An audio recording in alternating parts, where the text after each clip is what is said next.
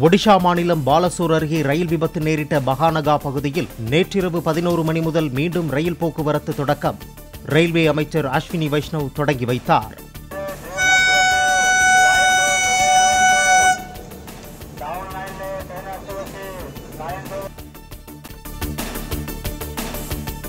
ஒடிஷாவில் ரயில் விபத்து நேரிட்ட பகுதியில் ஐம்பத்தி ஓரு மணி நேர சீரமைப்பு பணிக்கு பின் ரயில் இயக்கம். டவுன்லைன் எனப்படும் சென்னை நோக்கிய தெற்கு வழித்தடத்தில் விபத்துக்கு பின் முதலாவதாக சரக்கு ரயில் பயணமானது.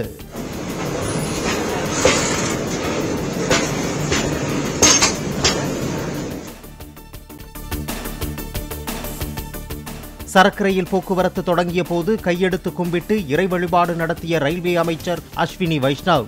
கோர விபத்து நேரிட்ட இடத்தில் ரயில் போக்குவரத்து சீரடைவதை கண்டு நெகிழ்ச்சியாக காணப்பட்ட மத்திய அமைச்சர்.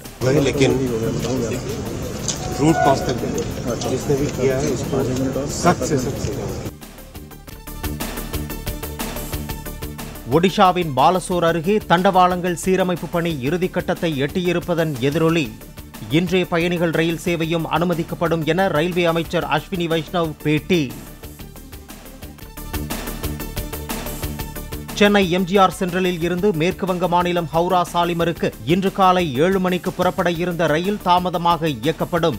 மூன்றே முக்கால் மணி நேரம் தாமதமாக காலை பத்து நாற்பத்தி ஐந்து மணிக்கு கோரமண்டல் எக்ஸ்பிரஸ் புறப்படும் என தெற்கு ரயில்வே அறிவிப்பு. ஒடிஷா ரயில் விபத்து தொடர்பாக சிபிஐ விசாரிக்க ரயில்வே வாரியம் பரிந்துரை என ரயில்வே அமைச்சர் அஸ்வினி வைஷ்ணவ் தகவல். தண்டவாள சீரமைப்பு பணிகள் முழுவீச்சில் நடைபெற்று வருவதாகவும் பேட்டி.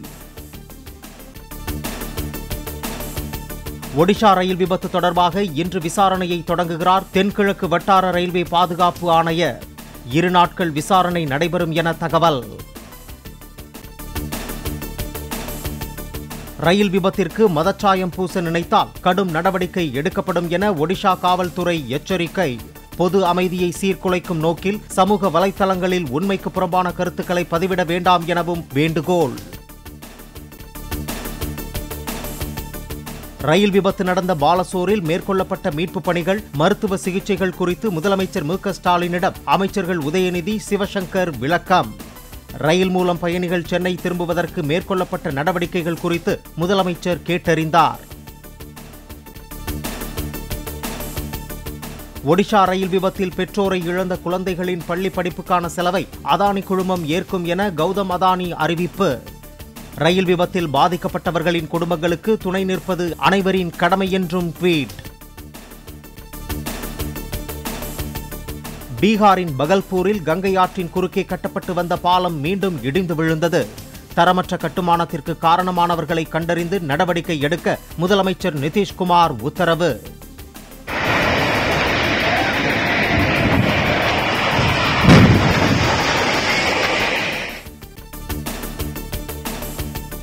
திருச்சி வாலாடி அருகே ரயில்வே தண்டவாளத்தில் லாரி டயர் வைத்த விவகாரம். செல்போன் டவர் சிக்னலை வைத்து சந்தேகத்தின் பேரில் எட்டு பேரிடம் தனிப்படை போலீசார் விசாரணை. பீகார் முதலமைச்சர் நிதிஷ்குமார் ஏற்பாடு செய்த எதிர்க்கட்சித் தலைவர்கள் கூட்டம் ஒத்திவைப்பு. ஜூன் பனிரெண்டாம் தேதிக்கு பதில் ஜூன் இருபத்தி மூன்றாம் தேதி நடத்தப்படலாம் என தகவல். மத்திய பெட்ரோலியத்துறை இணையமைச்சர் ராமேஸ்வர் தெலி சென்ற இண்டிகோ விமானத்தில் திடீர் பழுது. உரிய நேரத்தில் பழுது கண்டுபிடிக்கப்பட்டதால் கவுஹாத்தி விமான நிலையத்தில் அவசரமாக தரையிறக்கம். மும்பை விமான நிலையத்தில் கடந்த மூன்றாம் தேதி இருவேறு சோதனையில் ஆறு கோடி ரூபாய் மதிப்புள்ள பத்து கிலோ தங்கம் பறிமுதல். நான்கு விமான பயணிகளை கைது செய்து வருவாய் புலனாய்வுத் துறையினர் விசாரணை. கேரளாவில் தென்மேற்கு பருவமழை தொடங்குவதில் மேலும் தாமதம். இன்னும் நான்கு அல்லது ஐந்து தினங்கள் ஆகலாம் என இந்திய வானிலை ஆய்வு மையம் தகவல். ஒடிஷா ரயில் விபத்தில் பாதிக்கப்பட்டவர்கள் குடும்பத்திற்கு மூன்றாம் பாலினத்தவர்கள் உதவி. ரயிலில் யாசகம் எடுத்த பணத்தில் தங்களால் முடிந்த உதவியை செய்துள்ளதாக தகவல். ஒடிஷாவில் பூரி கடற்கரையில் உலக சுற்றுச்சூழல் தினத்தையொட்டி பிரம்மாண்ட ஆமை வடிவ மணல் சிற்பம். இரண்டாயிரத்து முன்னூற்று இருபது பிளாஸ்டிக் பாட்டில்களை பயன்படுத்தி சிற்பத்தின் மீது ஆமை ஓட்டினை உருவாக்கினார் சுதர்ஷன் பட்நாயக்.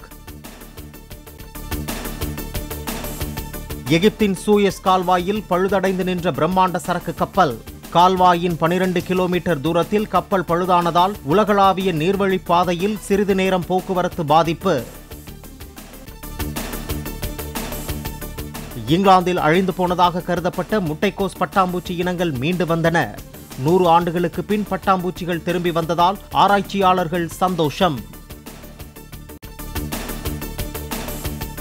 தமிழ்நாடு மற்றும் புதுச்சேரியில் இன்றைய பகல் நேர வெப்பநிலை மூன்று டிகிரி செல்சியஸ் வரையில் அதிகரிக்கக்கூடும். நேற்று பதிமூன்று இடங்களில் சதமடித்த வெயில். காஞ்சிபுரம் வரதராஜ பெருமாள் கோவில் பிரம்மோற்சவத்தில் வடகலை தென்கலை பிரிவினருக்கிடையே மீண்டும் மோதல். நாலாயிர திவ்ய பிரம்மந்தம் பாடுவதில் ஒருவருக்கொருவர் தள்ளுமுள்ளு.